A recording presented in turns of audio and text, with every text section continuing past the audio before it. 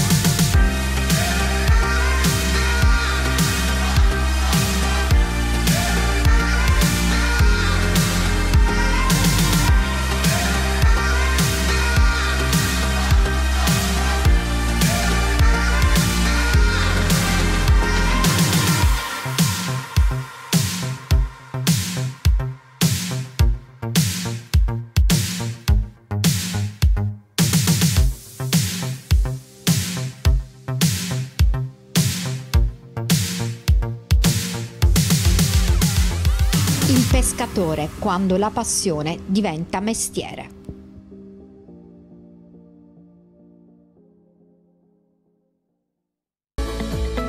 Paper Service di Rodolfo Rapisarda.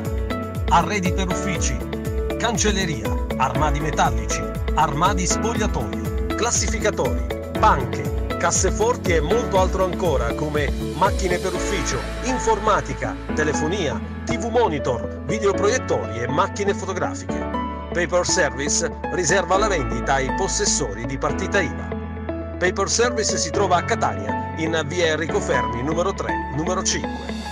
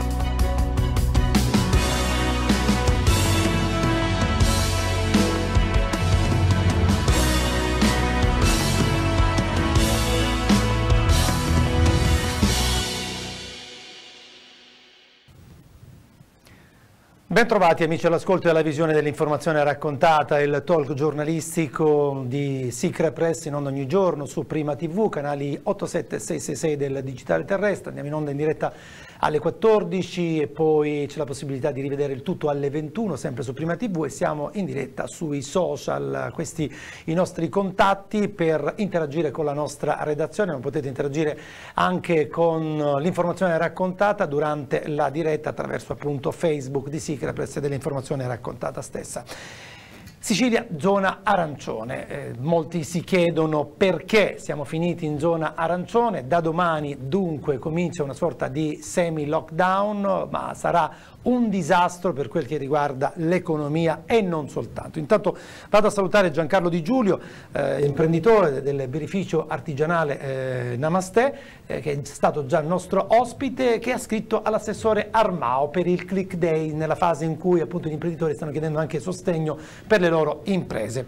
Eh, buonasera, benvenuto, ciao Giancarlo. Ciao Umberto, grazie. È, è un momento davvero difficile. Innanzitutto ti chiedo dei lavoratori del birrificio Namaste, te lo chiedo Ormai subito. Abbiamo chiuso in cassa integrazione, quindi birrificio chiuso.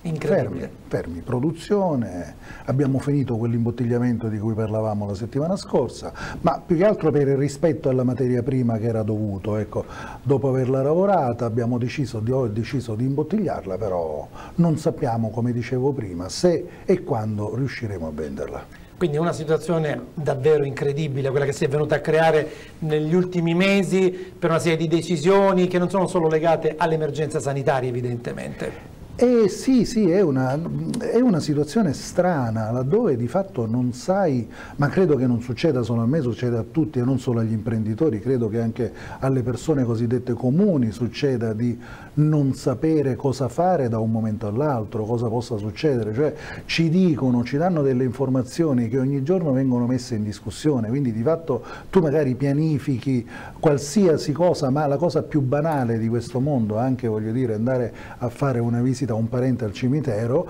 e ti ritrovi con le porte chiuse da un giorno all'altro, quindi è, no, non puoi vivere così, non è inimmaginabile. Tra poco parleremo della lettera che eh, Giancarlo Di Giulio ha inviato all'assessore Armao, sta provando in tutti i modi a salvare eh, la sua azienda, oltre che il lavoro ovviamente eh, del personale, quanti sono in cassa integrazione? Sono tre persone più due che erano quasi assunti, ho dovuto stoppare l'assunzione. Sì. E stiamo parlando di eh, famiglie, stiamo parlando di stiamo parlando vite, di famiglie, di persone, parlando di persone non di numeri. Sì, sì, sì, e questo è importante ricordarlo. Adesso entreremo più nel dettaglio. Dicevamo Sicilia arancione ma rossa di vergogna. Qui apriamo un fronte importante che riguarda soprattutto le incapacità gestionali eh, del passato, non soltanto dell'attuale governo, perché è facile magari eh, subito puntare il dito su questo governo o su chi in questo momento eh, sta gestendo la uh, sanità ci sono delle incapacità legate chiaramente a tutto quello che non si è fatto, ai tagli eh, che sono stati fatti eh, in maniera incredibile e spropositata rispetto alle esigenze anche del territorio. Parlo dei 21 parametri, 21 punti dei parametri che ci hanno portato in zona arancione, è importante dirlo, non soltanto per i casi, perché la Calabria ieri ha avuto 300 casi ed è finita in zona rossa, ma la Calabria in Calabria la sanità è commissariata da oltre vent'anni e questo è un problema dei calabresi.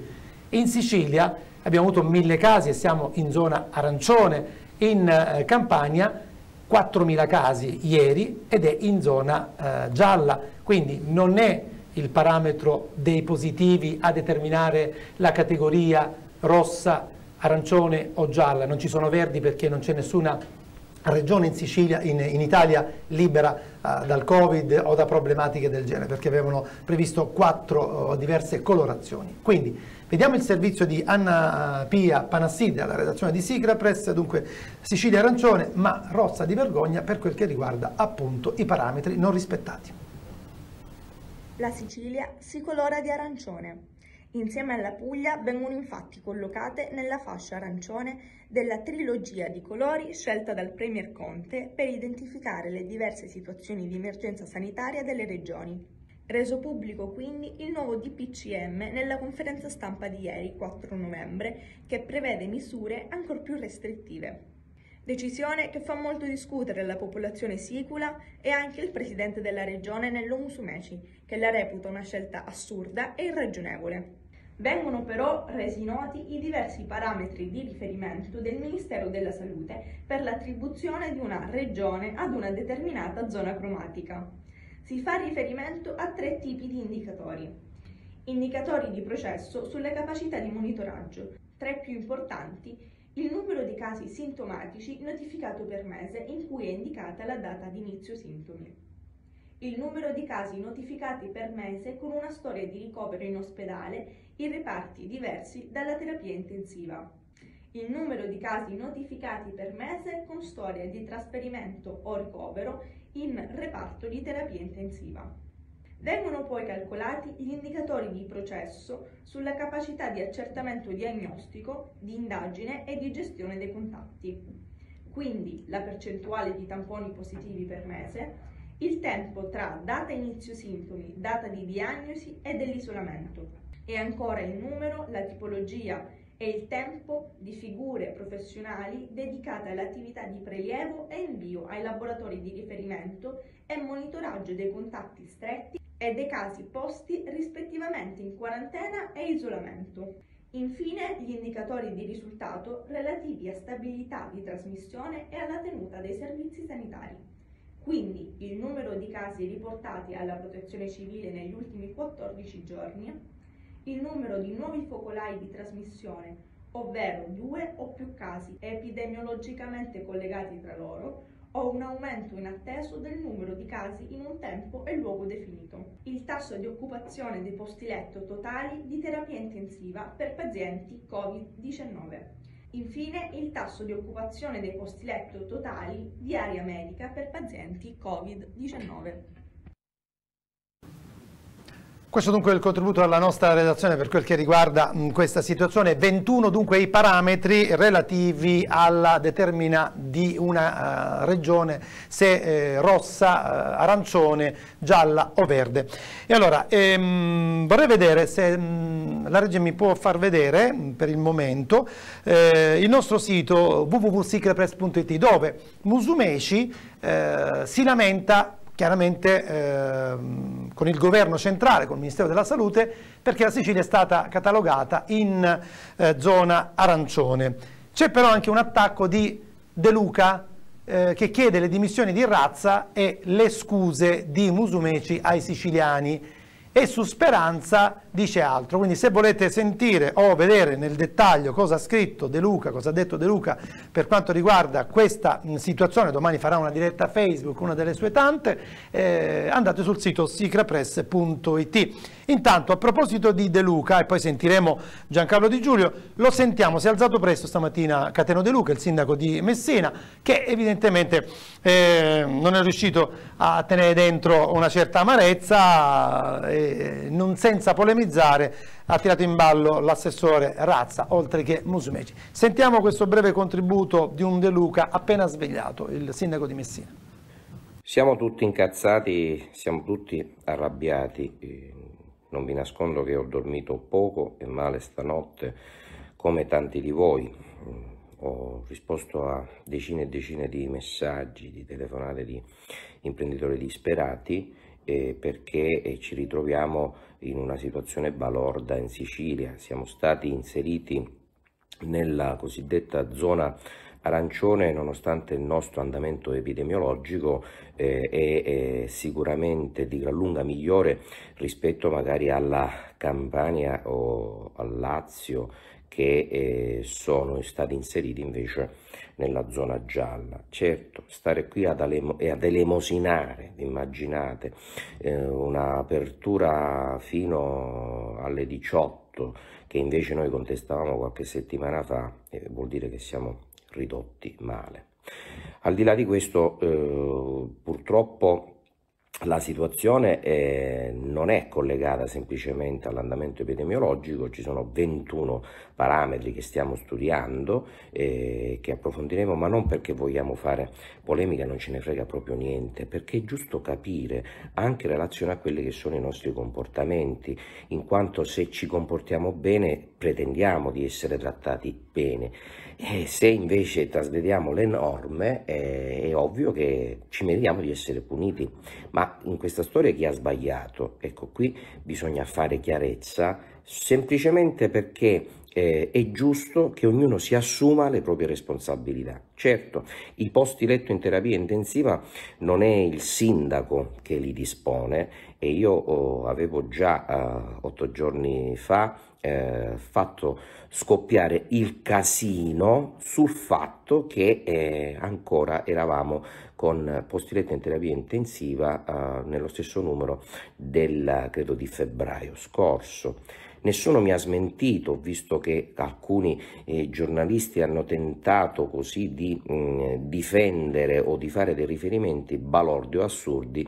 La verità è che noi siamo puniti in Sicilia principalmente perché il nostro sistema sanitario strutturalmente non si è adeguato e la nostra capacità di reattività rispetto a un'impennata della curva epidemiologica purtroppo è molto ma molto più scarsa di quella che c'è in Campania piuttosto che nel Lazio. Questa appare la situazione. Comunque eh, stiamo uh, lavorando per uh, quantomeno attivare quelle che sono eh, i concreti aiuti che possiamo dare alla nostra comunità in questo momento. Eh, domani eh, nella nostra diretta delle ore 18.30 eh, sveleremo quantomeno quelli che sono i contorni di questa vicenda, ma al di là di questo io vi invito alla calma, lo so che è difficile, ma lasciarsi trascinare dalla disperazione non vi serve, non serve alla città, non serve alle vostre attività, non serve ai vostri figli. Comunque dobbiamo essere oggi più di ieri comunità, aiutarci e, e rialzarci più forti di prima e quindi lavorare già ora a, a, a questa fase eh, che ci porterà presso ormai la, al Natale, eh, ma ci vogliamo arrivare cercando di avere tutti gli elementi per poter dimenticare questa eh, situazione che eh, ci tocca tutti quanti. Vi raccomando, non eh, lasciatevi trascinare dalla disperazione. Non è questo il momento. Ci vediamo domani alle 18.30 eh, per la nostra consueta diretta sulla pagina Facebook De Luca Sindaco di Messina. Vi abbraccio calorosamente tutti, sono con voi stiamo uniti assieme. Supereremo anche questa ulteriore nefandezza e questa ulteriore eh, tragedia che in parte viviamo sicuramente, non per nostra personale responsabilità. Chissà quanti caffè avrà preso poi dopo questa diretta il sindaco di Messina, Cateno De Luca. Un breve commento da Giancarlo Di Giulio su questo diciamo, annuncio, che è stato un po' un annuncio di quello che dirà domani in diretta social eh, De Luca, che chiaramente si preoccupa soprattutto della parte economica. Ma come, come, ti dicevo, De Luca dice delle cose giustissime, probabilmente le dice in una forma sbagliata, uh, ma è assolutamente giusto dar forza agli imprenditori, lui parla di economia disastrata, ma ne stiamo parlando ormai da giorni, no? Uh, mi veniva in mente, diceva, eh, dopo un periodo, un periodo buio necessariamente ci si deve rialzare, rimettersi in sesto. Io mi ricordo eh, ti racconto un piccolo aneddoto della, della mia vita. Io a 23 anni, a 20 anni ho avuto un bruttissimo incidente, a 23 eh, si rischiava addirittura di non riuscire più neanche a camminare, immagina. A 23 un amico mi fece una, una torta per il mio compleanno dove mi scrisse soltanto i grandi dopo una caduta hanno il coraggio di rialzarsi e continuare. Lì ero giovane, avevo 23 anni, avevi la forza, adesso siamo anche un po' stanchi, no? Cioè c'è qualcosa che poi alla fine ti fa dire ma se io ogni giorno devo lottare, ripeto, con la comunicazione, con, parlavamo poc'anzi, probabilmente affronteremo dopo la, la, la, la, lettera che ho mandato, sì. oggi ho passato due ore per mandare lettere, telefonare alla Camera dei Deputati, cioè sto cercando di far capire in tutti i modi che ci debbono dare degli aiuti. E io non sono un politico, non faccio politica di professione, sicuramente seguo la politica, seguo De Luca così come seguo Nello Mussolini, Musumeci, così come, come seguo tutti. E la mia sensazione è quella, seguendo tutti non trovo risposta in nessuno. È quello. Quindi un imprenditore non sa poi a chi rivolgersi no, evidentemente, no, no, perché si trova da solo. Ma io ho passato un'ora oggi del mio tempo a far capire la differenza a un deputato della Repubblica Italiana, la differenza tra un birrificio e una birreria. Ma questo è incredibile. E non è incredibile, è così. Allora, veniamo alla lettera ehm, che appunto Giancarlo Di Giulio del birrificio artigianale Namaste che in questo momento è chiuso eh, perché chiaramente a chi vende la birra eh, sono chiusi i pub, i ritrovi, le pizzerie, i ristoranti in generale. Ecco, il problema già si poneva prima che arrivasse questa ulteriore, sì, ulteriore sì, sì, ristrettezza legata ai locali. Quindi stamattina eh, viene a sapere che siamo eh, in arancione, in arancione. Sicilia arancione, e quindi da domani comincia questo lockdown. Cominciano le autocertificazioni. Le autocertificazioni, ecco. Giancarlo Di Giulio prende carta e penna, o comunque, come si diceva un tempo, carta e penna, si mette al computer e scrive esatto. alla regione. Perché?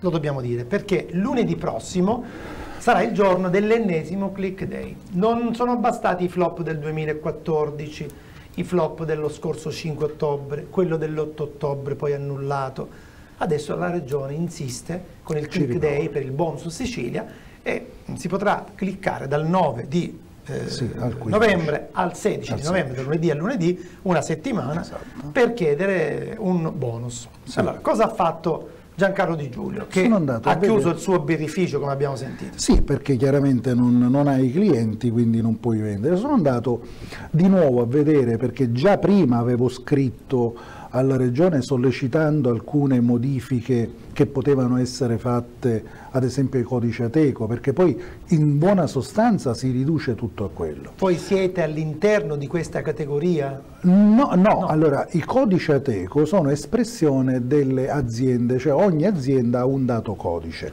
Ora noi sfortunatamente, dico sfortunatamente in questo caso, siamo il codice Ateco 11 che appartiene all'industria delle bevande, cioè i birrifici artigianali, pur essendo delle microimprese, delle PMI, sono equiparati ad acque minerali, a Coca-Cola, scusate no, non volevo fare pubblicità, dico, però ecco, cioè non, non, non, si è dato un codice ateco diverso da quello che appunto è l'industria in sé, per cui noi siamo stati esclusi da questo.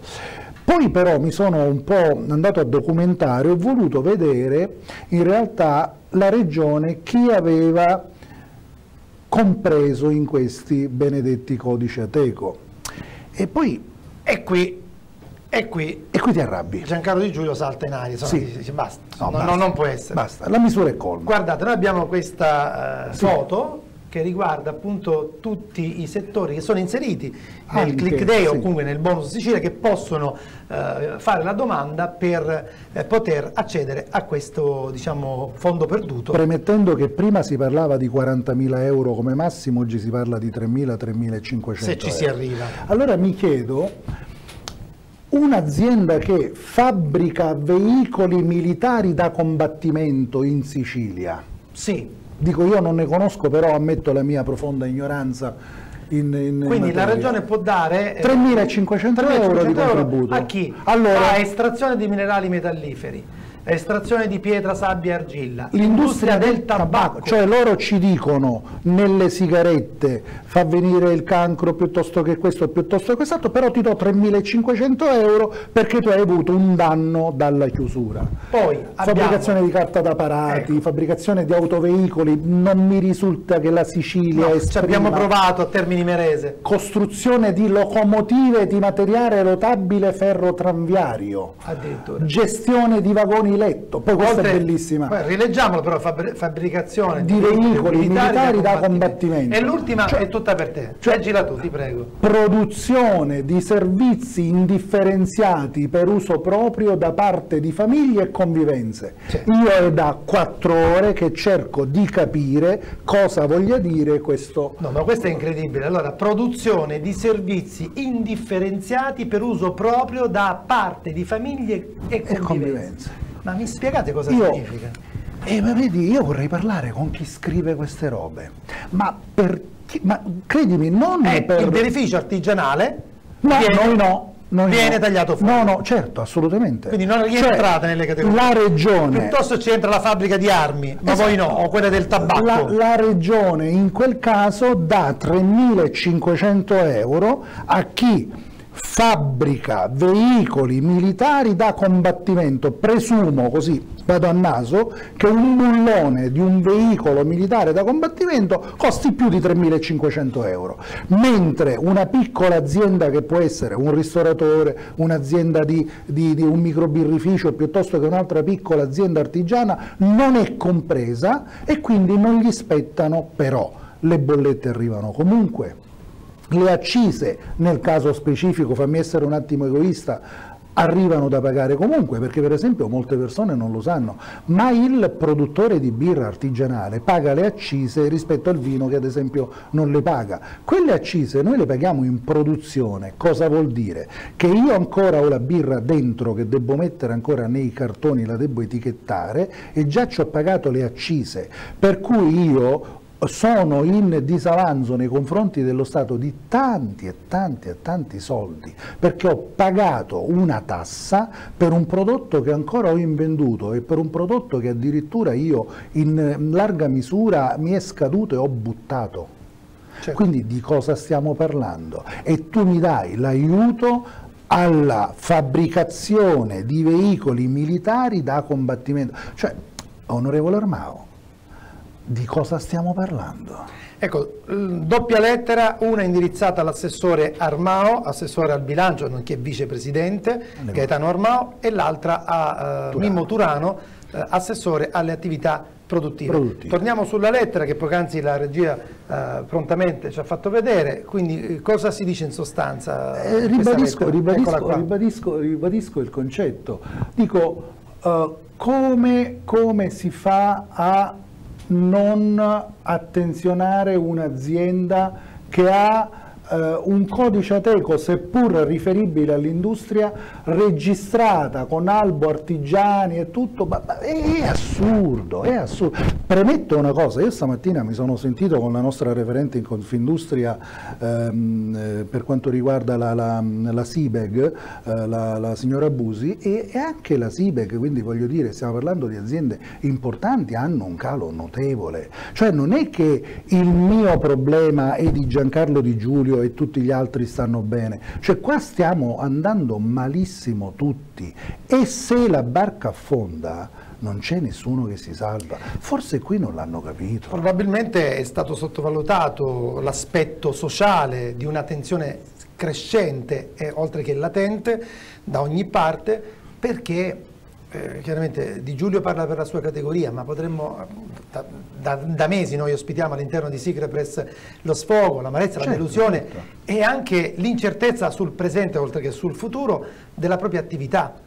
Dico, ma sono state tantissime le categorie che abbiamo ospitato e che hanno eh, parlato così come sta parlando Giancarlo Di Giulio, quindi dietro a tutte le aziende, piccole medie che siano, ci sono famiglie, ci sono C'è persone che vivono col monoreddito. Tu l'altra volta hai detto una cosa, parliamo di vita, non di... parliamo solo di business, di non parliamo solo di economia, cioè l'economia serve per far fronte alle esigenze quotidiane di una famiglia. Quindi se non c'è l'economia la gente non mangia. Il problema vero sta lì e non mi dicono, io sento molto spesso alcune persone che si lamentano e dicono ah ma voi imprenditori, voi imprenditori, voi imprenditori. Ma noi imprenditori cosa? cosa?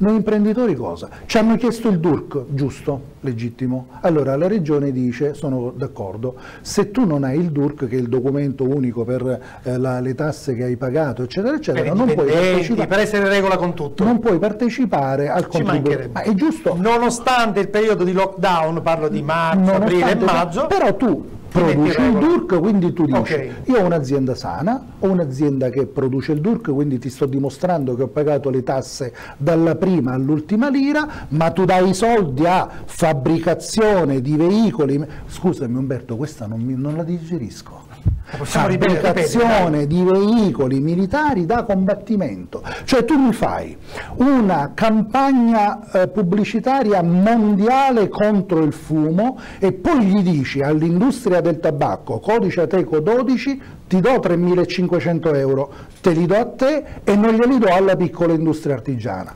E sono arrabbiato, mi dispiace. Oggi certo. sono arrabbiato eh, ne hai tutte le ragioni. Stiamo rivedendo l'elenco davvero incredibile eh, del, eh, dei soldi che andranno, che possono andare alle aziende che lavorano in questo settore, ma poi l'ultima anche allucinante produzione di servizi indifferenziati per uso proprio da parte di famiglie e convivenze. Cioè, veramente, cioè, io non, non eh, secondo me è un fenomeno avrà scritto questo di notte e notte, perché non, non credo sia possibile e immaginabile. Gli darei un premio, gli darei ma veramente un premio. gli darei un premio. Ma, ma gli darei un premio perché... Nobel del settore, assolutamente. Sì, sì, sì. sì, sì. Allora, eh, allora poi la vita vera, Giancarlo, è quella vita... che, che tu torni a casa e chiaramente sai che non puoi lavorare, sai che ci sono delle persone che aspetteranno la cassa integrazione quando arriverà. Ti racconto un altro piccolo aneddoto. Stamattina viene il magazziniere che lavora da me, un mio dipendente, il quale mi dice, principale, ci ha conto una cosa. Francesco, dimmi. Mi arrabbio. Cosa? Cosa ti ha chiesto? non gli hanno dato un contributo che spetta ai dipendenti perché lui non fa parte della categoria ristoratori. Cioè al CAF gli hanno detto no, tu lavori per un'azienda che non rientra neanche nei contributi, cioè il ragazzo ha una moglie e una figlia, come fa? Certo, è questa la vita vera, della disperazione della, delle persone. E allora ti chiudono il comparto, il ragazzo io lo devo tenere in cassa integrazione a casa, poi esco per venire da te, passo davanti a una scuola. Ecco, abbiamo delle foto che hai mandato mandato, in redazione, sì. che adesso Lucy Gulozza sì, ci farà vedere. vedere perché... sì. e, e, quindi a proposito di Movida, ecco, guardate. questa è la Movida eh, e la scuola dietro la mia azienda alle 13.30 credo che fossero perché stavo proprio venendo di oggi? Di oggi, sì sì, eh, oggi, 10 minuti, ecco, ecco qua ma non si vede bene perché la, il telefonino non ha una profondità di campo adeguata, ma erano a ridosso dei cancelli. A proposito di assembramenti, allora e di dico, chiusura di palestre, piscine, teatri, cinema. Parliamo di cose serie. Sì. Io dico a Umberto Teghini, c'è un virus, c'è un probabile contagio, stai attento, lavati le mani, metti la mascherina, stai in qualche maniera attento a quello che fai. Dico al ristoratore, ospita i tuoi clienti, metti il plexiglass, metti gli igienizzanti e tutto. Siamo persone adulte e riusciamo a gestire queste informazioni. Mi tieni le scuole aperte. Ad un bambino di 7-8 anni, come fai a dire stai con la mascherina, stai fermo, non abbracciare? Cioè, qua non andavano chiusi i ristoranti, andavano chiuse le scuole. Quello il qui secondo molto la, il ministro Azzolina.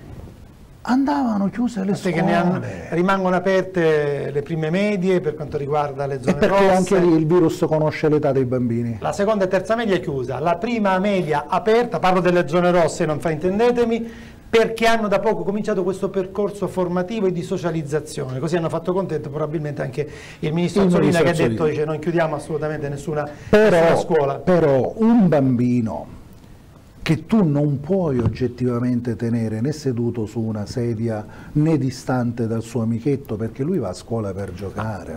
Ti faccio un esempio diretto che abbiamo vissuto qui eh, attraverso un responsabile di una scuola calcio i bambini non possono giocare, possono fare qualche allenamento individuale, ma poca roba evidentemente.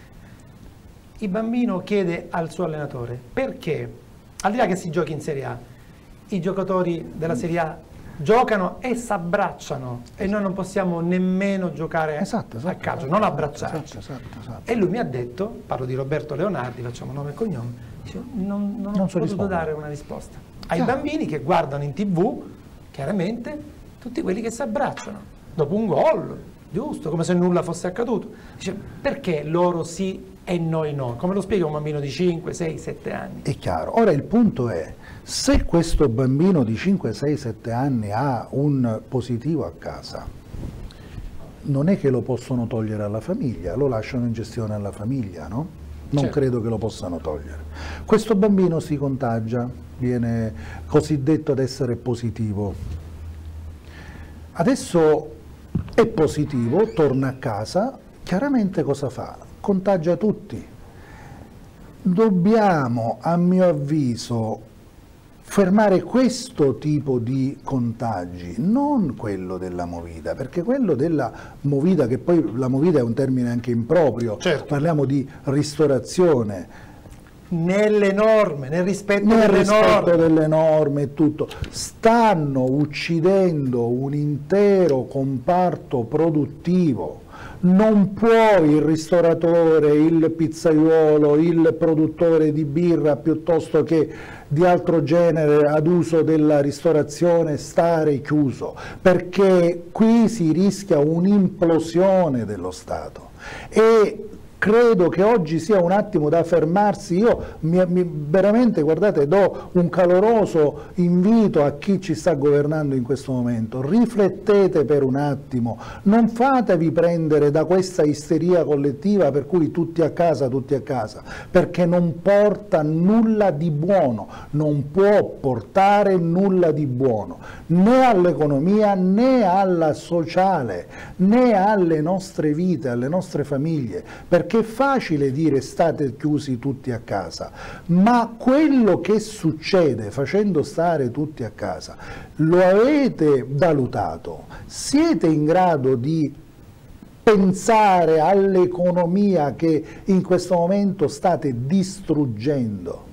Mettete delle regole, io sono convinto che i ristoratori, perché io parlo con i miei clienti, i miei clienti me lo dicono, Giancarlo, io non ti posso comprare la birra perché non so se oggi apro, tant'è eh, ci avevano detto alle 16 per le 22, poi l'esporto, poi no, non posso comprare il prodotto. Date a questi benedetti cristi l'opportunità di lavorare, perché solo così riusciremo al contrario ad uscire da questo momento drammatico, non tenendoci a casa, perché tenendo a casa l'intero comparto agroalimentare e produttivo non risolvete il problema. È come quello di mettere la testa, lo struzzo che mette la testa sotto la sabbia per aspettando un domani che non sa che cosa succederà.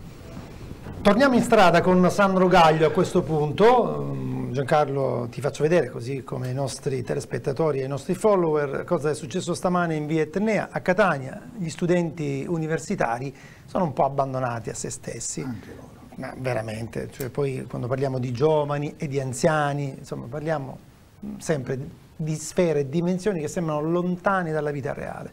E invece dovremmo privilegiare anziani e giovani, assolutamente.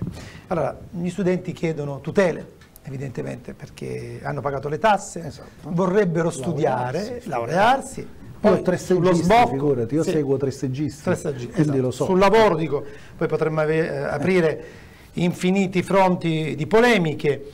Ne abbiamo parlato anche all'Università Raccontata, che è il format di Sicra Press che va in onda ogni mercoledì con eh, Laura eh, Pellegrino. E insomma, oggi in strada insomma, è stata una protesta di alcuni ragazzi distanziati, evidentemente distanziamento sociale, no, distanziamento fisico, perché a me non piace questa cosa del sociale, eh. Esatto, distanziamento sì, sociale. sì, sì, sì, è, è brutto, è fisico, brutto, è più che sociale. Sentiamo Sandro Gaglio e poi commenteremo queste immagini con Giancarlo Di Giulio. Sì, buongiorno dal vostro Sandro Gaglio, sono in via Etnea e proprio davanti alla prefettura oggi eh, gli studenti universitari, rappresentanti degli studenti dell'Università di Catania, l'associazione Siamo Futuro. Si parla di università e di problemi che l'università continua ad avere.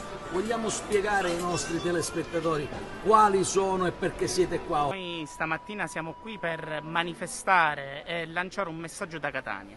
Il messaggio che vogliamo lanciare proprio qui davanti alla prefettura in quanto sede di rappresentanza del governo e delle istituzioni nella nostra provincia è quello dell'importanza della tutela sia dell'università che degli studenti universitari per il nostro paese. Noi siamo rappresentanti degli studenti, ragazzi, membri attivi che fanno ogni giorno attivismo studentesco all'interno dell'Ateneo di Catania e quindi siamo qua per poter manifestare e sottolineare quali sono le tematiche più importanti proprio per la tutela degli studenti universitari. C'è bisogno, se si vuole davvero chiudere, come è stato deciso dagli ultimi decreti, le aule universitarie, c'è quello di un maggior supporto. L'attività didattica, la didattica online non è purtroppo un mezzo aperto e disponibile per tutti, quindi serve un maggior supporto a tutti gli studenti che non hanno i mezzi o non dispongono di quegli strumenti necessari per poter accedere alla didattica online e quindi serve un maggior supporto, un maggior aumento delle tutele riguardo questi studenti. Serve sicuramente anche un aiuto economico. La crisi che ci ha colpito non è soltanto quella sanitaria, ma anche economica e culturale. Quindi bisogna aiutare le famiglie e gli studenti italiani. Come? C'è sicuramente bisogno di un aumento della no tax area. La no tax area è quella fascia di reddito in cui lo studente italiano non eh, è esente dal pagamento delle tasse universitarie. Se i servizi, tra virgolette, diminuiscono, devono diminuire anche le tasse. Certo, amministrare gli atenei o comunque amministrare un ente in generale in questo momento non è un'operazione facile, c'è un bisogno di un aiuto proprio economico e amministrativo da parte del Ministero competente, che è il Ministero dell'Università, ai singoli atenei. La domanda, diritto allo studio, il fatto che molte eh, facoltà utilizzano il sistema del numero chiuso, hanno utilizzato anche il sistema di selezionare gli ingressi in un modo particolare. Voi che posizione avete? Allora, noi come associazione negli organi eh, amministrativi di governo del nostro Ateneo in cui eh, vi è la presenza dei nostri rappresentanti abbiamo votato contrari all'introduzione del voto di maturità come parametro per l'accesso agli studi. Per noi l'università e i corsi di laurea devono essere liberi, il diritto allo studio deve essere accessibile per tutti, l'università deve essere accessibile per tutti come recita la nostra eh, Costituzione, l'istruzione deve essere aperta. Si potevano trovare altre alternative, altri Atenei, anche più grandi di quelli di Catania, hanno trovato delle, delle alternative per non poter palarizzare diciamo, e, poter, e, per poter diciamo, far accedere più studenti possibili e ragazzi all'università eh, in base al proprio corso di laurea che viene scelto. Ci auguriamo che per il prossimo anno accademico ci sia un ripensamento da parte dell'amministrazione universitaria. Noi, essendo rappresentanti di studenti ed, esp ed esprimendo rappresentanti all'interno degli organi di governo del nostro Ateneo, faremo presente di nuovo questa questione. E rieccoci dunque in studio per commentare l'ennesimo sfogo, abbandonati a noi stessi, dicevano appunto i ragazzi, gli studenti in via Etnea sotto la prefettura, modo per protestare, l'ennesima protesta di questa città che eh, ormai da mesi, eh, quotidianamente, eh, insomma, offre la piazza Università o via Etnea come punto di sfogo per eh, rivendicare eh, queste difficoltà che sono anche oggettive. Sono difficoltà di tutti. Sono difficoltà di tutti. A catena poi tutti. A cate sì, sì, perché poi chi più chi meno. Eh, stiamo vivendo tutti, ripeto, ehm, lo abbiamo detto, chiunque avrebbe sbagliato, però adesso un attimo ce la stanno raccontando. Cioè, adesso dovrebbero con l'esperienza del primo lockdown, con già questi 15-20 giorni che stiamo vivendo, dovrebbero un attimo capire dove andare a parare. I ragazzi, io ne seguo tre all'università, eh, faccio dei corsi di marketing, dei seminari per, per, per i ragazzi di, di, scienze politiche e loro mi dicono questo, non sappiamo se venire in azienda, se non possiamo venire, ci dobbiamo laureare c'è una confusione totale, c'è una confusione pressoché totale. Quindi ehm, in generale potremmo dire anche un'incapacità gestionale no? di tanti settori, eh, bisogna capire quanto sia importante e possa essere importante l'università e non parlo dell'università di Catania, in generale, perché poi i nostri appena hanno la possibilità economica vanno via, eh sì. vanno a studiare fuori, vanno a specializzarsi fuori, cercano lavoro fuori chi non ha l'azienda di famiglia, perché poi le cose stanno così, ma non ho mai sentito un politico, un amministratore eh, lanciare una proposta per trattenere questi ragazzi, una proposta seria, concreta.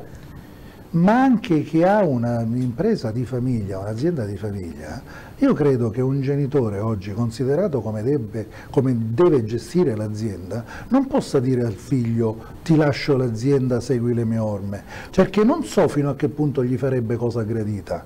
Cioè, per come siamo messi oggi, certo. fare impresa, l'altra volta lo dicevi, no? Fare impresa in Italia, a me lo dicono, è da, quasi da folli, cioè, è quasi da premiare. Figuriamoci in, realtà, in Sicilia. Figuriamoci in Sicilia. E, io non lo so se è incapacità, Mm, di aver guardato oltre il proprio naso, perché nessuno, Giancarlo, vent'anni fa ha pensato a come sarebbe dovuta essere Catania, la Sicilia. Non diciamo venti, dieci anni fa. Sì, è vero. Cioè, ognuno guarda all'orticello All... di casa propria, agli interessi di bottega. Sì. Credetemi, non è un discorso politico no, per, no, no, per, dire sempre la colpa è dei politici, assolutamente no. Loro sono bravi a giocare a scaricabarile. C'è chi mi ha preceduto, non ha fatto nulla, cosa volete? Oggi eh. raccogliamo i disastri, però ognuno di chi eh, si è alternato in posti importanti a livello comunale, a livello provinciale quando esisteva la provincia, a livello regionale, a livello nazionale, cosa ha fatto? Cioè, la politica, allora, domanda diretta, la politica negli ultimi vent'anni cosa ha fatto per la Sicilia e per i siciliani? Punto di domanda. Giancarlo Di Giulio. Ma guarda, la domanda ha una, una risposta. Se non vado errato, e credo però di non sbagliare in questo caso, la Sicilia ha espresso tutti i parlamentari possibili ed immaginabili che oggi sono alla Camera dei Deputati e gran parte al Senato in realtà li abbiamo visti sul territorio, abbiamo visto qualcosa di concreto? No, ma non è colpa loro. No. Probabilmente è colpa nostra, probabilmente è colpa nostra che non ci stiamo rendendo conto che ci stiamo rubando il futuro ci stiamo rubando, perché pensando al nostro orticello solo, guardate, io oggi sono qua ehm, in veste chiaramente di amministratore del birrificio Namastè, ma mi sento portavoce di tante piccole realtà che conosco, che sento tra i colleghi, tra eh, gli imprenditori, eccetera che magari non hanno la forza, non hanno il coraggio, eh, certuni di metterci la faccia, certuni di mettersi in discussione. Ecco, io oggi mi voglio mettere in discussione, vorrei che questo video, se possibile, qualcuno lo mandi a chi di dovere, all'assessore alle attività produttive, all'assessore all'economia, mi riferisco all'onorevole Armao, mi riferisco ehm, a, a, agli altri membri del governo della regione siciliana. Quando fate un una scelta come quella di Bonus Sicilia, chiamate le aziende, confrontatevi con le aziende, non fate tutto nel palazzo perché rischiate, così come avete fatto, di sbagliare. Allora permetteteci, così come ho scritto uh, oggi all'onorevole Armao e al dottore Frittitta ad altri, aiutateci aiutatevi a non commettere errori. Noi siamo qui, noi classe imprenditoriale, che siamo sul campo, perché vedete i generali non valgono nulla se non hanno un esercito a loro disposizione. Se un generale non parla con i suoi colonnelli, per colonnelli intendo la forza imprenditoriale siciliana e nazionale, rischia di sbagliare le strategie di guerra e se si perde la guerra si va tutti a casa. Chiamate gli imprenditori, fate un tavolo di confronto. Noi guardate che siamo disposti ad aiutarvi, siamo disposti a metterci del nostro per portare avanti la nostra bellissima terra, questa terra stupenda, meravigliosa che però oggi conta solo danni, conta solo bruttezza. Macerie. Macerie. Macerie. Macerie. Perché poi guardiamo il cielo, ma che bel cielo, guardiamo il mare, ma che bel mare, guardiamo la montagna, che meraviglia. Ma poi vediamo, e poi vediamo come abbiamo ridotto cielo, mare e montagna. Eh? Esatto, eh? ce lo entriamo... dicono i turisti, esatto, no? ce lo dicono i turisti.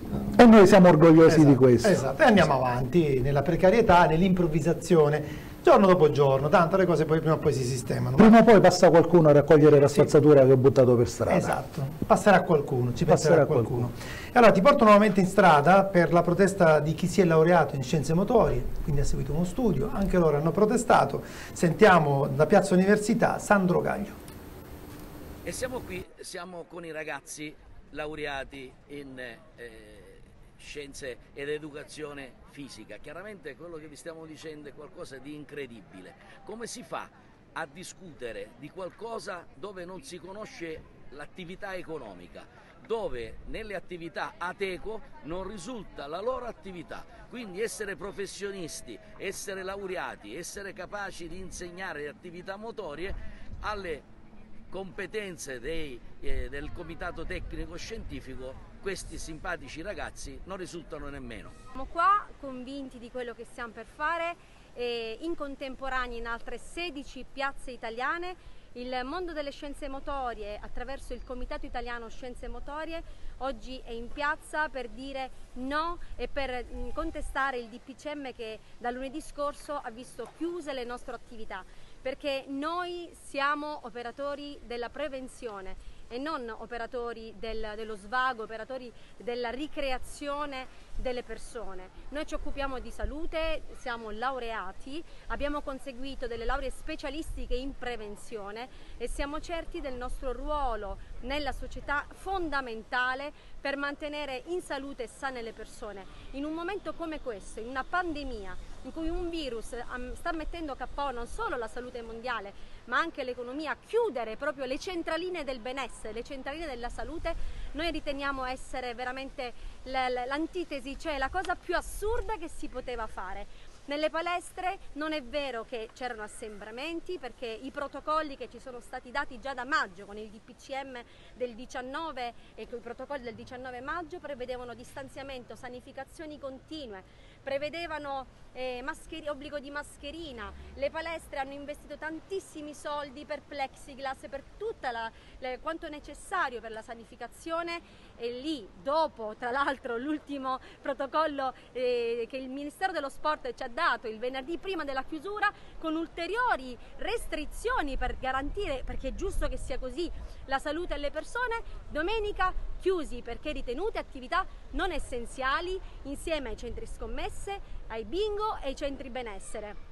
Noi che abbiamo studiato che abbiamo una laurea, che abbiamo investito la nostra vita e continuiamo a investirla nella formazione, negli aggiornamenti. Molti di noi hanno anche dei master post universitari in posturologia. Noi che ci occupiamo di ipertesi, diabetici, ci occupiamo di eh, algie, di salute, ma anche di bambini, noi che insegniamo ai bambini il rispetto delle regole, noi che contrastiamo l'obesità oggi imperante nella società moderna, ecco, noi siamo a casa da lunedì scorso e questo lo troviamo ingiusto perché la salute non passa dalla cura, dalla riabilitazione, la salute passa dalla prevenzione e non, non dobbiamo arrivarci alla cura ed è scientificamente provato ed è stato anche ribadito dall'OMS che l'attività motoria è fondamentale nel rafforzare il sistema immunitario. Quindi in una pandemia un sistema immunitario forte è la prima difesa contro un virus. È il paradosso all'italiana, è classica questa cosa. Prima ci formano, ci danno una laurea, ci danno delle competenze, chiamano le nostre lauree e le nostre materie come, con titoli come prevenzione, come salute, come rieducazione motoria, dopodiché ci chiudono e nel, nelle FAC, addirittura l'ultimo punto delle FAC di eh, sport e salute, che è un demanio CONI in realtà più che direttamente del, del, Ministero, troviamo che la ginnastica medica e la rieducazione motoria che sono ambito delle scienze motorie debba essere necessariamente effettuata all'interno di strutture sanitarie, quando in realtà noi non possiamo, non, non essendo figure sanitarie, andremo come dei professionisti eh, come dire, allo sbaraglio all'interno di strutture sanitarie dal punto di vista legislativo e questa cosa è inaccettabile. È da tanto tempo che le scienze motorie chiedono un riconoscimento all'interno delle figure sanitarie, questo perché come al solito in Italia di prevenzione primaria non se ne fa mai. Esiste sempre la prevenzione secondaria, la terziaria, per cui una volta che è insorta la malattia il sistema sanitario deve imporre una pezza, deve imporre medicine, deve imporre protocolli di recupero noi siamo i professionisti della prevenzione primaria, noi evitiamo che le malattie insorgano o quantomeno ne ritardiamo di, eh, di molto l'effetto. Questo è il nostro ruolo ed è questo, come al solito, il solito paradosso all'italiana, per cui ci facciamo molto bravi con le parole, siamo molto belli con le parole, però poi a conti fatti la prevenzione è zero, poiché un professionista come il laureato in scienze motorie, che è il professionista della prevenzione primaria, credo che non ci siano altri professionisti come noi che lavorano nella prevenzione primaria, non siano trattati come tali, non siano trattati come professionisti e a tal, e a tal punto i codici Ateco che ci contraddistinguono non esistono perché noi non abbiamo una professione. Quindi chi si, chi si, inquadra con codici Ateco differenti, tra l'altro tali codici Ateco che sono fuori dal decreto ristoro. E come, come, come ho detto in precedenza è il più grande dei paradossi. Per cui la grossa distinzione che si fa fra sport e attività motoria, lo sport è legato al CONI e l'attività motoria che deve essere legata al laureato in scienze motorie, devono avere due percorsi differenti. Sta bene che il CONI abbia il demanio sullo sport, nessuno, nessuno toglie al CONI questa, questo primato, ma la professione della laurea in scienze motorie è un'altra, noi parliamo di salute, parliamo di attività fisica adattata, noi parliamo di altro, noi studiamo altro, noi abbiamo a che fare anche con altre persone. È vero che i laureati in scienze motori vanno anche a finire nello sport, ma non è necessariamente lo sbocco principale. Anzi, molti, come diceva prima la collega, hanno dei master in eh, posturologia. Ci occupiamo realmente di qualunque malattia cronica eh, imperante nel, nel nuovo millennio. Per cui quello che chiediamo è esattamente un riconoscimento proprio per la professione che ci è stata data dallo Stato stesso attraverso la nostra laurea. Questo dunque lo sfogo dei laureati in scienze motorie in piazza università, l'ennesima eh, protesta eh, per chiudere, la gente scende in piazza, protesta tutte le categorie, certo. praticamente tutte tutti, le tutti, categorie. Tutti. Non, non, non c'è stata una categoria tranne i dipendenti statali, tranne chi ha fortunati loro, ma ancora, per, canalizzato. ma ancora per poco Umberto, perché io ti ricordo che se si ferma l'economia, anche il dipendente statale, vuoi o non vuoi, avrà problemi, perché qui non è che lo Stato, l'Italia non può stampare soldi, non è che eh, non c'è un pozzo dove prenderli, quindi se si ferma l'economia, anche il dipendente statale prima o poi potrebbe, mi auguro no per carità, avere problemi, cioè non è che loro sono esenti, ma non è esente nessuno, questi ragazzi un grido di, di dolore, ma è chiaro, chiaro, un ragazzo si laurea, investe anni della sua vita. E io lo so cosa vuol dire andare all'università a studiare, cioè non è che anche lì le materie te le regala qualcuno, tu devi passare nottate intere sui libri, eh, ci lasci gli occhi, eh, lo stress, ti cadono i capelli, cioè, e, e, poi tu ti ritrovi ad essere tanti laureato, sacrifici. tanti sacrifici e quindi... È la situazione veramente drammatica. Assolutamente, drammatica. assolutamente drammatica e attenzione alle tensioni sociali. Dobbiamo chiudere. Allora, eh, Giancarlo Di Giulio, eh, imprenditore, titolare del beneficio artigianale Namaste, che al momento è chiuso, in cassa integrazione i suoi dipendenti, collaboratori e ha chiesto di poter accedere al click day del 9 di novembre, l'ennesimo, bonus Sicilia, eh, un prestito a fondo perduto, quindi un contributo, sarà nella misura di, di poche migliaia Pochi di euro, ormai sì. 2.000, 5, 3.000, adesso non sappiamo perché sono 125 milioni da dividere a tutti gli imprenditori. Ebbene, eh, gli è stata sbattuta la porta in faccia, gli è stata chiusa la porta in faccia a lui come a tante altre categorie, compresa quella dei giornalisti, perché non dirlo, che sì, non sì, lavorano, sì, perché ci sono tanti giornalisti, tanti colleghi a spasso, questo è giusto dirlo, però non se ne parla, non però è anche parla. vero, tanti giornalisti professionisti che appunto sono a spasso e che appunto non hanno ricevuto alcun sussidio torniamo alla sua azienda, lui oggi si è messo di buzzo buono, ha scritto una lettera ad Armao, un'altra a Turano, ha parlato con un deputato della Camera eh, a Roma, eh, siciliano, che non sapeva nemmeno qual è la differenza tra uh, birrificio e birreria. E birreria, mi viene da ridere. Sì, però, da ridere, però da ridere. dobbiamo però, dare il prego. contributo alle aziende che fabbricano veicoli militari da combattimento. Dobbiamo dare il contributo, che poi mi piacerebbe capirlo ancora, ma mi documenterò, ti farò sapere, a chi produce servizi indifferenziati per uso proprio da parte di famiglie e convivenze non ci sto, mi dispiace, non ci sto. Onorevole Armao, non ci sto. Dobbiamo parlarne. Credo che sia il momento per parlarne, perché non è possibile dare il contributo piuttosto che alle aziende artigianali siciliane a chi fabbrica veicoli militari da combattimento. Non ci sto. Grazie, grazie Giancarlo Di Giulio, uh, a disposizione come redazione di Secret Press, oltre che di Prima TV, per uh, sentire uh, quelle che sono le emergenze del territorio, per darvi il sostegno che vi possiamo dare e per raccontare appunto quello che sta accadendo in Sicilia, perché mi sembra di poter dire che taluni vivono un'altra realtà, mentre la vita reale è un'altra e non è una frase fatta. Grazie e in bocca al lupo, ci risentiamo Grazie presto per tutti gli aggiornamenti. Adesso la nostra psicoterapeuta, e chissà quanto bisogno ne abbiamo di psicoterapeutici in questo periodo, Sara Grisiglione con la rubrica settimanalmente che punta i riflettori sui giovani che sono disorientati tra scuole che aprono, che poi chiudono, gente che va in quarantena e gli studenti, lo abbiamo visto, quelli universitari che praticamente si sentono abbandonati. Sara Grisiglione.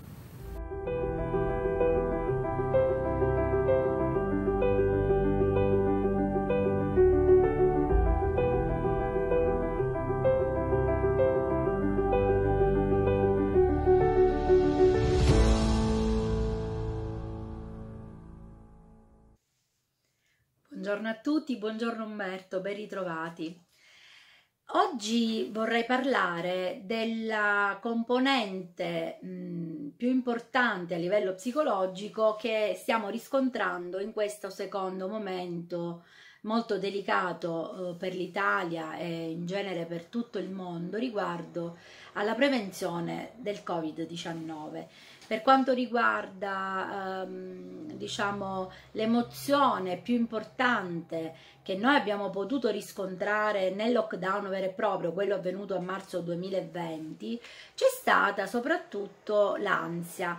L'ansia che veniva vista come ehm, l'incertezza, la paura verso un fenomeno nuovo, non del tutto conosciuto e quindi eh, a questa ansia la popolazione ha cercato di sopperire attraverso eh, passatempi come quello per esempio della cucina, come quello di altri hobby che di solito si mettevano in coda a tutti i nostri eh, impegni ed interessi, ma anche um, un senso di solidarietà, le canzoni um, al balcone, eh, tutti um, i video postati nei, nei social network.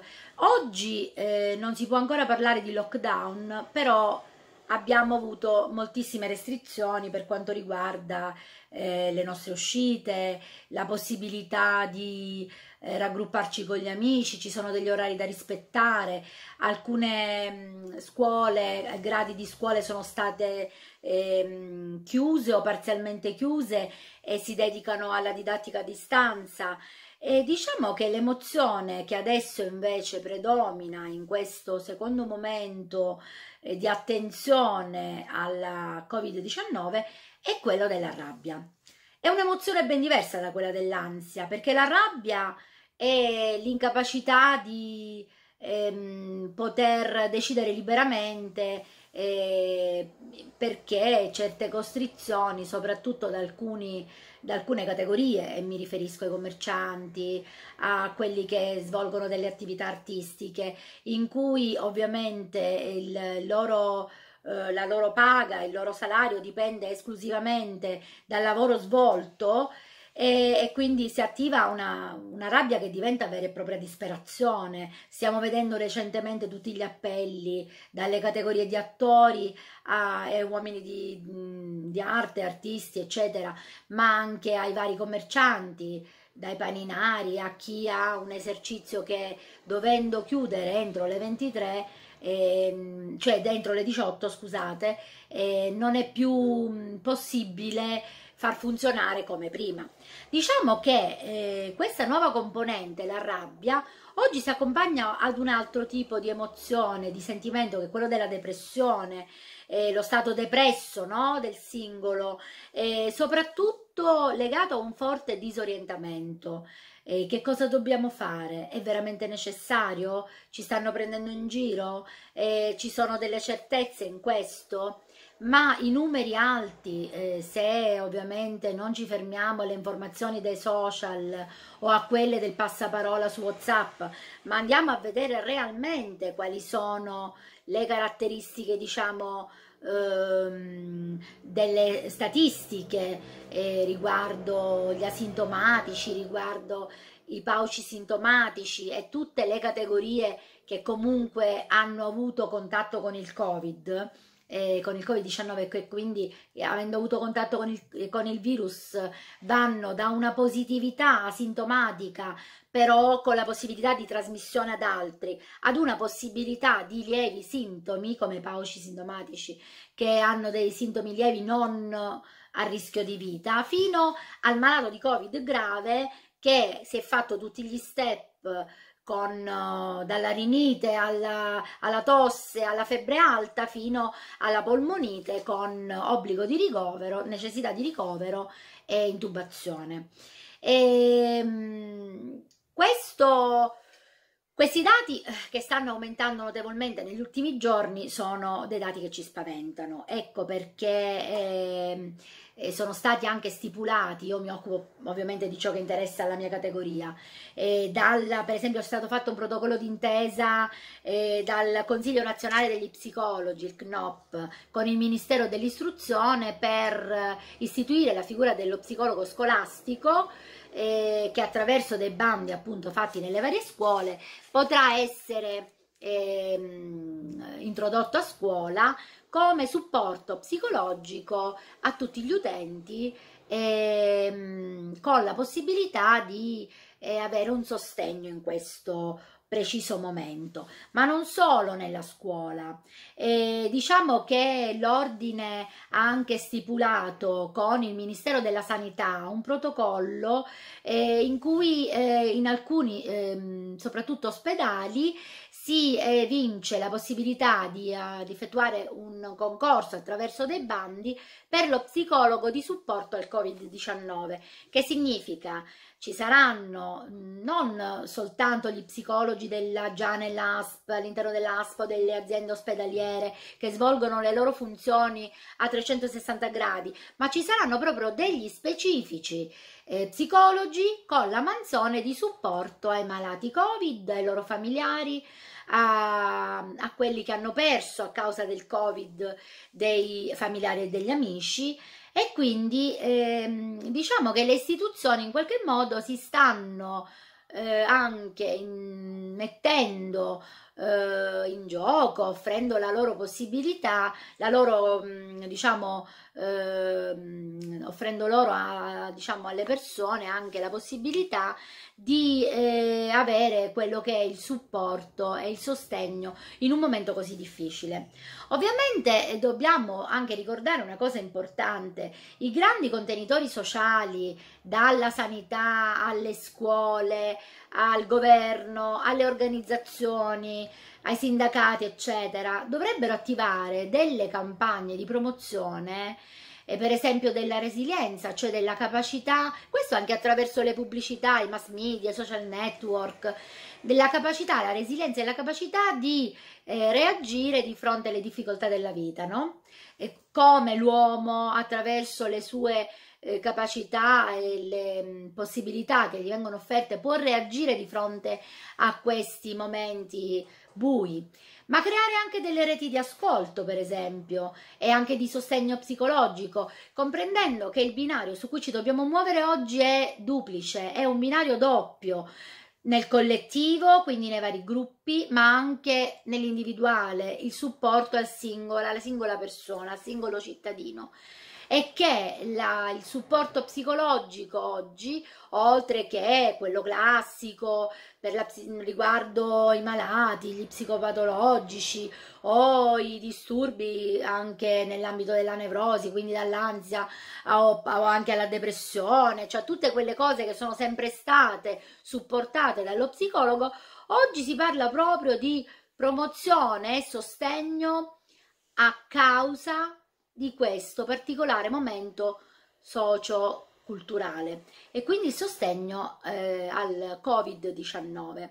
È mm, importante che ciascuno si renda conto che non è solo e che può chiedere aiuto eh, secondo anche i numeri, eh, gli indirizzi mail che mh, mm, troverete in rete riguardo appunto il supporto e soprattutto oh, quello che io vi ribadisco ancora una volta è cercare eh, di trovare una capacità che l'uomo comunque possiede ed è quello della, eh, dell'attesa, è quello della pazienza. Oggi forse sembra utopistico, anche fuori di moda parlare di queste cose, però eh, non ci facciamo cogliere dalla disperazione, non ci facciamo prendere dallo sconforto, cerchiamo di trovare in questo momento qualcosa che ci distrae dall'ossessione di sapere ogni giorno quello che sta succedendo e quanti ne muoiono e se non è vero e se è vero, cioè cerchiamo invece di eh, dare il tempo necessario all'informazione vera, quindi andiamo a vedere quelli, i canali giusti dell'informazione riguardo a questo, a questo, fenomeno e soprattutto cerchiamo di ehm, far affidamento nuovamente a delle capacità che sono tipiche dell'uomo, che sono quelle della capacità di, eh, dicevamo prima, parlavamo della resilienza, ma anche di inventarsi qualcosa che possa a livello eh, personale distrarlo, fare dei, appunto come abbiamo fatto prima dei passatempi, cercare di eh, lavorare in casa, cercare di ritrovare attraverso eh, il dialogo eh, la risposta a volte anche in famiglia a quelle che sono ehm, le disarmonie che ovviamente in una convivenza più prolungata e soprattutto quando il tempo è più lungo eh, perché i ragazzi stanno facendo la DAD, perché dall'università eh, molti si stanno anche connettendo da casa per evitare di stare troppi nelle aule universitarie o nelle classi e quindi dicevo eh, cerchiamo di trovare un dialogo, una comunicazione efficace. Quando ciò non è possibile, fermiamoci un attimo. Se proprio ci sono delle difficoltà gravi, chiediamo aiuto ai professionisti della salute psicologica. Ve lo ripeto ogni volta. E sappiate che è possibile eh, non solo ricevere l'ascolto, ma anche l'aiuto necessario. Io vi dico eh, sempre eh, che attraverso la mia mail, i miei recapiti, potete rivolgervi a me se ci sono dei dubbi, se avete delle necessità anche per poter essere inviati nei luoghi preposti. E, vi auguro di riuscire a stringere ancora un po' i denti, andare avanti in una situazione che non è facile per nessuno ehm, con la speranza che veramente le cose possano cambiare, migliorare, ma soprattutto che ci sia da parte delle istituzioni una risposta non solo univoca, ma anche eh, definitiva, cioè che possa uh, un po' prendere forma nuovamente, eh, qualcosa che non sia l'altalena che stiamo vivendo in questi giorni. Io vi abbraccio e un forte saluto a tutti al, e un arrivederci al prossimo appuntamento con la rubrica settimanalmente.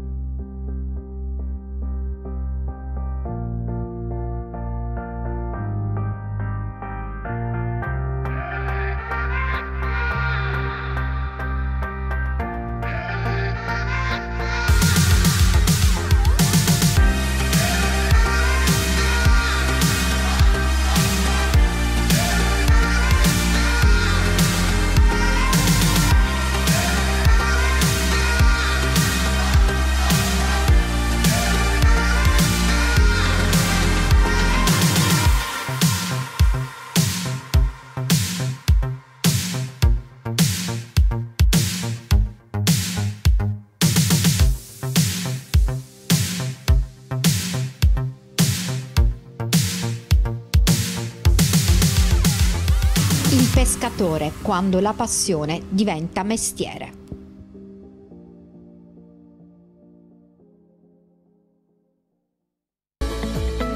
Paper Service di Rodolfo Rapisarda.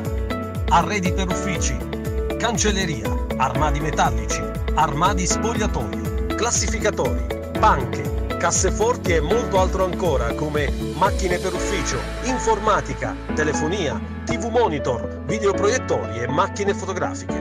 Paper Service riserva la vendita ai possessori di partita IVA.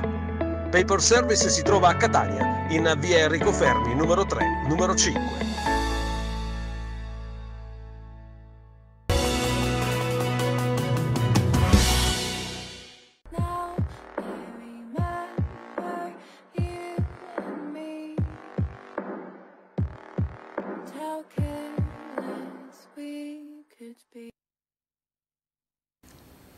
Bentrovati in questo secondo ed ultimo segmento dell'informazione raccontata, la prima parte dedicata praticamente interamente alla zona arancione, alla Covid e all'emergenza sanitaria ma soprattutto economica. Troverete questa puntata sui social, sulla pagina Facebook di Sicrapress ma anche sulla pagina Facebook dell'informazione raccontata e veniteci a trovare sul nostro sito www.sicrapress.it. È arrivato il momento dello sport, del calcio, con le immagini di eh, Catanzaro-Palermo, finita 1-1, recupero del campionato di Serie C. Palermo che lunedì affronterà il Catania alle ore 21 in diretta su Rai Sport, canale 57 in HD e quindi la possibilità di seguire in diretta eh, comodamente da casa vostra la gara del Catania, dei rossoazzurri. Il derby è sempre il derby, anche se atipico, senza pubblico e dunque a porte chiuse per l'emergenza sanitaria. E allora ci vediamo Catanzaro-Palermo finita 1-1 ma subito dopo campionato di Serie D la vittoria delicata di Campanella per 1-0 sul Paternò con un gol eh, capolavoro di Civello. Tutto questo chiude l'appuntamento la, eh, di oggi con l'informazione raccontata, eh, vi ripeto per tutti gli aggiornamenti ci ritrovate sui social. Un saluto particolare a tutti gli amici che ci hanno seguito su Prima TV. Lucy Gullotta, possiamo andare con il calcio. Però della settima giornata si doveva giocare di domenica 25 ottobre, si gioca oggi. Guardare col sinistro in verticale a cercare Evacuo, chiude benissimo Palazzi. Bro, mezzo al campo, prova ad andare lui, mentre Ogier tiene di più posizione, palla in verticale, bellissima per Canute, che spreca un'occasione clamorosa, scappato via alle spalle di Contessa, che adesso si sta chiarendo con Martinelli. Martedì Valente che allunga l'azione dei suoi, poi bellissimo ancora, va via con questo traversone all'interno dell'aria, la spizzata da parte di Martinelli, si dispera Saraniti, che giocata di Valente, ma siamo già dalla parte opposta, Almici non vuole perdere tempo, il movimento da parte di Oger che di prima la gira, stessa idea da parte di Rauti che non riesce a dare il massimo, che la può giocare col destro morbido dalla parte opposta, bene Bro che poi deve stare attento per non fare fallo su Contessa che riconquista la sfera, cross molto bello, il colpo di testa, che parata di Pelagotti, colpo di testa di Evacuo, la parata, la risposta di Pelagotti che esulta come se avesse segnato, che parata, che azione, bello il cross, bello il colpo di testa, tutto perfetto farsi vedere Valente, Almici va direttamente all'interno dell'area, là dove ha postato sempre sul primo palo Felice Evacuo che serve di Massimo, di prima di Massimo per Baldassin, occhio perché c'è lo spazio per andare in contropiede, Baldassin viene inseguito da Crivello, la palla dalla parte opposta per Di Massimo che va col pallonetto e spreca un'occasione clamorosa solo davanti al portiere, ha cercato la cosa più difficile, più complicata. L'assist per Verna era complicato, Altobelli con il fisico, vola Baldassin, punizione, occhio perché Bro era ammonito e viene espulso, secondo giallo per il centrocampista del Palermo che resta in 10 dopo 3 minuti della ripresa. Al sinistro di Contessa. Quindi ad uscire, palla che passa sul primo palo, occhio perché può calciare Garufo, potente, di poco non preciso. Fischia l'arbitro, parte Almici. Sul primo palo, Branduani, grande parata Grande parata di Branduani, Almici aveva indovinato la traiettoria e l'unico angolo possibile per provare a sorprendere Branduani. Strato di avere difficoltà nel trovare gol. Prova a smentire tutti di Massimo che va a contrasto con Crivello e per l'arbitro è calcio di rigore espulso addirittura il capitano del Palermo.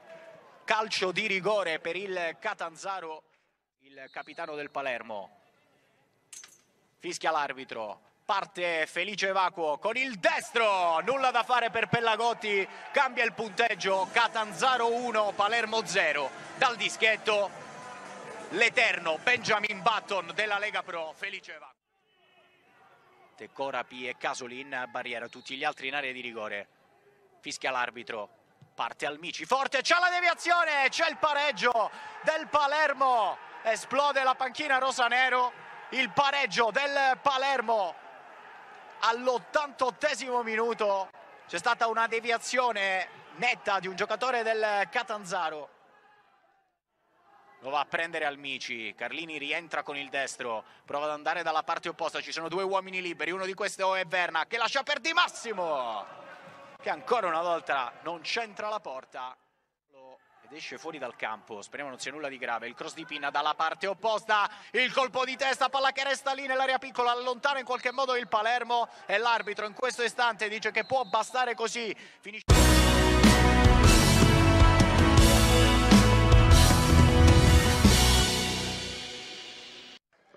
Una partita chiave per eh, il proseguo del campionato dell'Eligata perché dopo la ottima vittoria contro il Dattilo, è inutile dircelo e nasconderci, siamo qui per eh, provare a conquistare tre punti contro una squadra del Paternò, comunque una squadra molto coriacea, molto dura Truglio, ma la palla a tre piedi, attenzione, il Licata può prendere d'infilata il Paternò alla prima occasione, la palla Rossitti, il cross teso sul primo palo, si lancia Cavalli perché se quel pallone la sfera a tre piedi prova ad allargare verso Cannavò che la stoppa in aria, Cannavò la gira, rimane comunque sui piedi, cade giù rigore, calcio di rigore, fallo di Dall'Oglio e dopo 4 minuti e 20 secondi la gara può già prendere un'altra piega.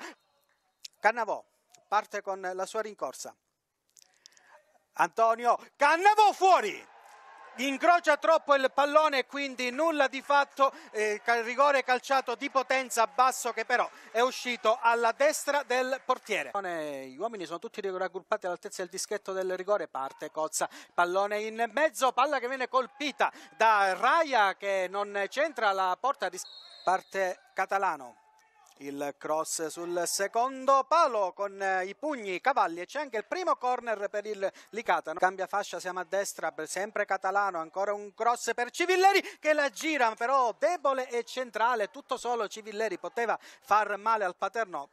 Arriva adesso il fischio, il cross di Catalano verso Maltese che all'ultimo viene anticipato da un intervento importante di Mazzotti che arriva in questo istante.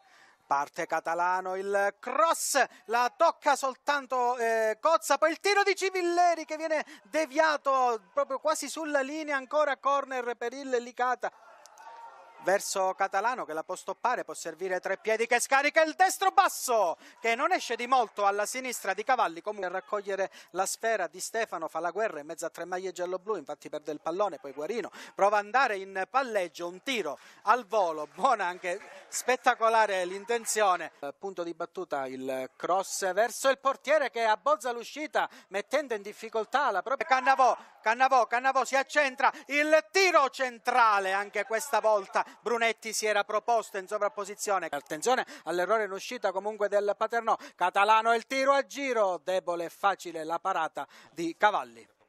Sulla sinistra c'è Cannavò, Civilleri lo vede adesso, quindi Cannavò punta Santa Paola, un uno contro uno, Cannavò entra in aria, fa uscire il pallone, Catalano il tiro alto. 8 minuti e 30, prima conclusione della ripresa per entrambe le formazioni, un tiro debole, fiacco da parte di Catalano, attenzione adesso Maltese anticipato da eh, Di Stefano, comunque Guarino fa buona guardia, serve Di Carlo. Arriva il rilancio con Brunetti, Catalano, non trova assistenza, però la recupera Frisenna, prova a innescare Civilleri, Civilleri chiuso da Dell'Oglio. Ottimo tre piedi ancora una volta, recupera un buon pallone Napolitano. Palla recuperata ancora da Frisenna, buon pallone per Catalano inseguito da Santa Paola, è costretto a frenare Catalano, prova ad andare via di forza il numero 10, il cross per Civilleri, il gol! Di Civilleri, il primo gol arriva ed è un grandissimo gol di Marco Civilleri che la sblocca al minuto 66, Marco Civilleri che gran gol al volo, cross sulla sinistra di un grande catalano che ci ha creduto, palla in mezzo, piattone di destro al volo, sulle gambe, ha soltanto visto spegnere la palla all'incrocio, Licata 1, Paterno 0, Marco Civilleri. Arriva il cross di Cozza in mezzo in anticipo di Carlo Palla che staziona davanti la linea di porta. Intervento salva risultato di Maltese. Pallone per Frisenna che porta la palla verso tre piedi che scarica con un tiro di controbalzo centrale, colpo di Reni di Cavalli, corner per il Licata. Servire Santa Paola, Santa Paola il cross basso, arriva Di Stefano e c'è l'intervento sul proprio palo risolutivo di Di Carlo. Eh, di Stefano il cross basso per Scapellato, Scapellato entra in aria il tiro sul secondo palo fuori. Paternò molto vivo, molto vivo. Attaccante c'è l'anticipo dall'Oglio, controllo così così che permette l'intervento di Cannavò. Napolitano, Napolitano, Napolitano sbaglia davanti al portiere, gran salvataggio. Trotta in questa situazione, tre piedi, va per via centrali, Napolitano, altro pallone, ottimo Napolitano, la tocca Cavalli, Cannavò il salvataggio di Puglisi, corner per il Licata, pallone che viene recuperato dal Paternò che la tiene in campo, il cross di Scapellato, la manca, proprio fuori il nuovo probabilmente che si arrabbia andiamo. Se fa recuperare qualcosa no finisce qui termina Licata Paternò 1 a 0 gara sbloccata nella ripresa e dagli alti altissimi contenuti agonistici la sbloccata con un gol che comunque rimarrà nella storia ovvero il primo di Marco Civilleri con la maglia del Licata una vittoria meritata